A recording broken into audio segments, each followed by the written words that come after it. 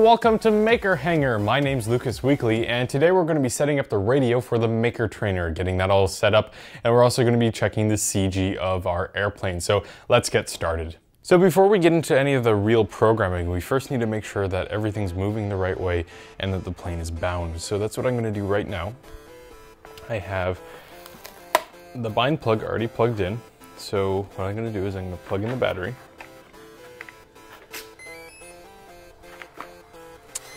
Turn on the radio with the trainer switch held down. Power it on, wait for it to bind. The light inside stops, just starts flashing slowly. Let go. It's now solid. Okay, now that we're bound up, I'm gonna remove the bind plug, close out the hatch, and we're gonna check to make sure all our control surfaces are zeroed out. Using the elevator as an example, we can take a popsicle stick as a reference of how flat it is, and we can put it over the control surface and we see that it's pointed down a little bit. So what we're gonna do is I'm gonna take off the servo arm and put it back on, just change the where it is. Okay, so now you can see it's facing up a lot more than what it was before. Now, we're always gonna want some, a little bit of up trim on this, so that should be okay for now. We can always change that later. Going to the ailerons, we're gonna flip the plane over. We can put our popsicle stick back on. We see that it's facing a little bit too far down. So what we're gonna do is I'm gonna come in here with my X-Acto knife and pop off the servo arm. Just get it off. And then I'm gonna position it again and using my X-Acto knife, put the servo arm back on.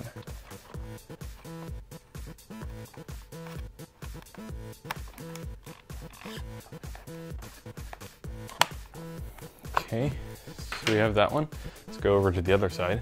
Now if the control surface is in between, like this is too far this way, but when you go one click over, it goes too far the other way, then you have to redo your uh, push rod. And that's just undoing one of these, putting it back on, changing the dimensions around a little bit so that it fits.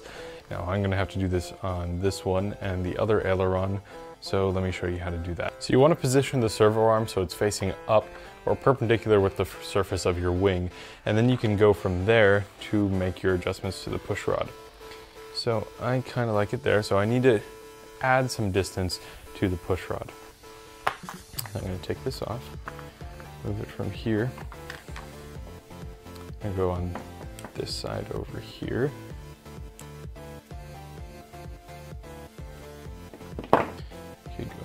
Try that.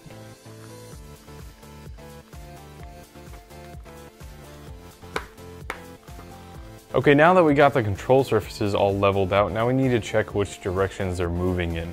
So we're gonna flip the plane over now. Okay, so we have the plane facing away from us, and here's our controller. So we're gonna check this stick over here. This is what we're gonna be testing right now. For the elevator, when you push down on the stick, it should go up. And obviously we're reversed right now, so when I push up, it goes up. This is not the right way. And then the ailerons, when I push to this side, that side should come up, the one that I'm pointing to, so that's right. And then the same with the other side, it should go to where I'm pointing. So the ailerons are fine, but the elevator needs to be reversed. So let me show you how to do that. Okay, so going into the menu, we hit the side scroll. We're gonna scroll down to setup, list, and going to reverse. So we're gonna find our elevator, which is right here, and just click it, and then go to the reverse. Now we can check it over here, and now when we pull up, we see that it's going up now. Okay, so if our ailerons were reversed, we could set that up right there, but mine are fine the way they are, so we're gonna leave them. That's how you reverse the servo. So let's move on to doing the travel adjust. Okay, so the ailerons don't really need to have travel adjusted for them because they're pretty much unobstructed. Now, the elevator is obstructed because it has the rudder in its way and also the tail boom at the bottom. So we need to set the parameters on the limits of the control of the elevator. So when I go to pull up over here, you can see it's touching here, but it's also, the servo is whining. That means that it's under tension so we're going to alleviate some of that tension by changing the travel adjust. Now if we go down, you can see we reach our limit there, but the servo keeps going, so we're bending our push rod. So you definitely want to change that as well. Okay, so in the menu, we're gonna scroll over to travel adjust. We're gonna go to the elevator, and we see that it's 125% up. Now, normally it's 100%. I don't know why that's set. This is a new model. Anyway, we're gonna bring this down to 100%. And so you can see the arrow goes down. It's 120. So we're gonna hold that, scroll down to 100. We're basically scrolling down until we stop hearing the servo whine. So let's just go back to 105 just for good measure. Okay, now for the next one going up, we do need to look at the plane. Okay, so when we push up on the stick, we can see the push rod is being bent. So what I'm gonna do is I'm gonna scroll the wheel and doing the same thing that we did before and bring the number down until the push rod comes back to be straight.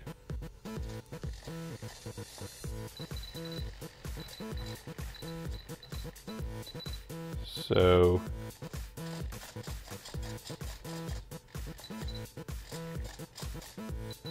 That's about 35%. We still want to have some throw on the down elevator, even though the plane is always trying to go down, but we definitely want much more up elevator. Okay, so now the travel has been adjusted, so when I pull up, it only comes to this point right here, and then when I push down, it only goes to its stopping point down there. The ailerons are set up so that they move 100% in either direction. But this is a little bit too much. So instead of doing a travel adjust, we're actually gonna do dual rate so that we can get a different amount for these. So let me show you how to do that. So backing out of the travel adjust menu, we're gonna go back to the menu and go to dual rates and expo. Click this. Now the aileron is at 100% currently, and this is a lot, and it's gonna roll the plane really quickly. So I'm gonna bring this down to about 50%. Okay, so the elevator is okay at 100% either way since we've set the travel adjust for its limits and you definitely do want to keep it like that. But what we can do is add some expo so that it's a little bit more controllable at the lower ends of the stick. So we're going to add about 50 or 40% positive.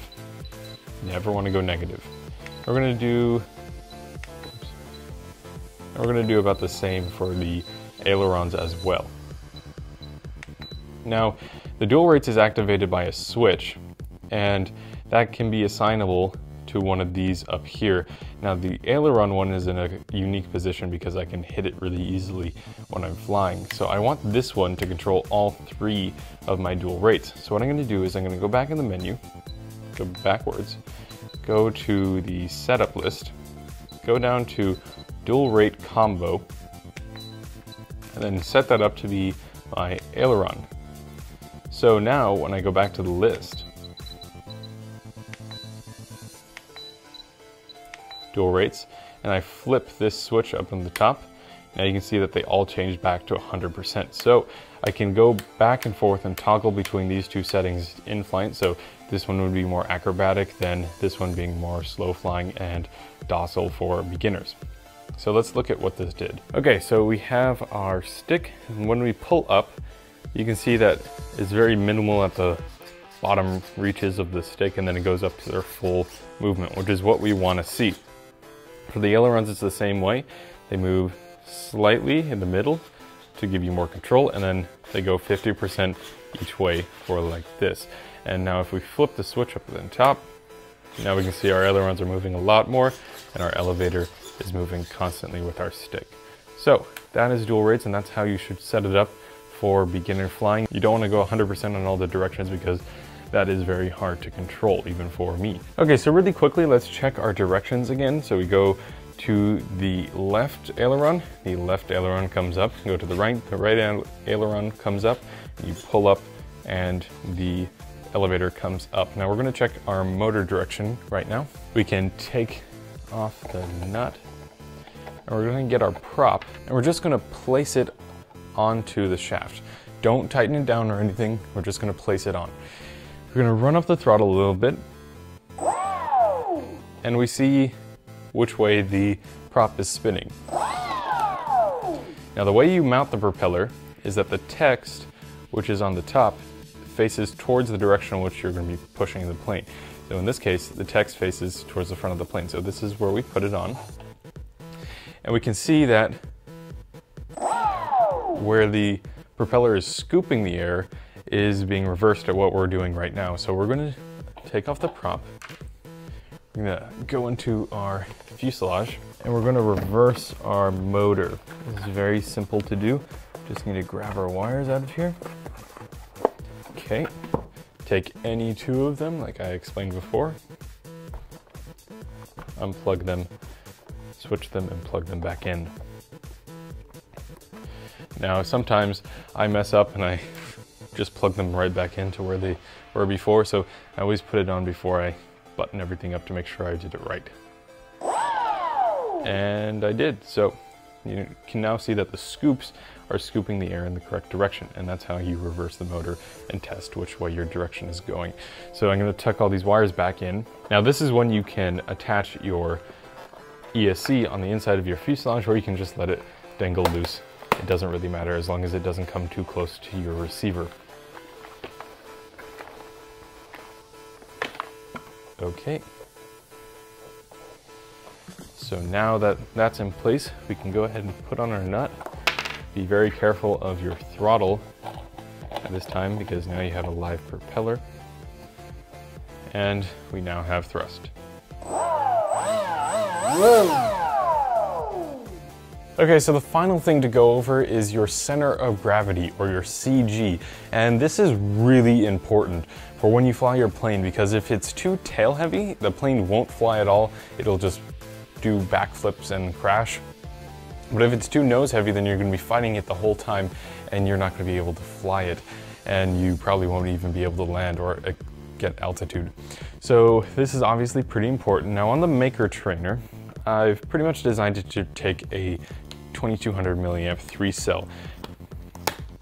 Up in the front, we put the Velcro there before. Let me go ahead and unplug this. So the CG is where the plane balances. Now, I could give you fancy measurements on where the uh, you put your fingers to make it balance, such like that, but every plane is going to be different and depending where you put your wing, that's also going to change your CG. So the way that I normally do this is I put the battery in, and then I go outside and I hold this over my head and I go running with it. And then when I'm running at a fast enough speed and then I feel that it's getting lift, then I let go and see what it does. I always keep my hand next to it so it, it doesn't fall. If it falls backwards, then it's too far back and you can move your battery a little bit farther forward. If it noses down, then you're too nose heavy and you can bring the battery a little farther back. Now, when you get it perfect, it should say perfectly level when you let go of it and then come back into your hand. Once you get to that point, you might want to go a little bit farther forward on the battery. Having a little bit slightly nose heavy plane is better than having a slightly tail heavy plane because all it's going to do is it's going to self-right itself because it's falling straight down and all you have to do is pull up to get out. With a nose heavy plane, you always have to be pushing down and it's just going to be flying backwards. So that's it for CG and that's pretty much it for the setup and you're ready to fly. So you might have been wondering what all these switches next to the sticks do. And these are called trim tabs. They allow you to trim out your airplane or get it to fly better. Now basically what you're gonna do for these is you can't really set them on the ground, you have to set them while you're flying. So saying your plane is pitching down, so that means that you're gonna be pulling up on your elevator. So instead of having to hold down your elevator the entire time flying, well you can use the trim tabs, which is kind of like a permanent stick, and push it down, which will elevate your elevator. So it's just like you holding the stick down like here. And uh, when you're trimming out in the air, you can incrementally add these to make the plane just fly straight when you let go of the controls, which is what you want. So say if we're banking to one way and we always have to be holding it to the right, well then you can add right trim to it and it'll do the same thing as you holding it. So that's what trim does. You can't really set this until you're flying, and it's pretty easy to go and set. All you have to do is while you're flying, get up high enough that if it's nosing down, you can compensate for it and get up enough air, and then quickly come over here, click it a couple times, go back, and then go from there and keep doing it again until it's tuned out and trimmed. Once you have it trimmed, then it'll fly perfectly and you don't have to mess up that again. That's it for this episode. Next time, I'm going to show you how to use a flight simulator to learn how to fly. So I'll see you then. Thanks for watching.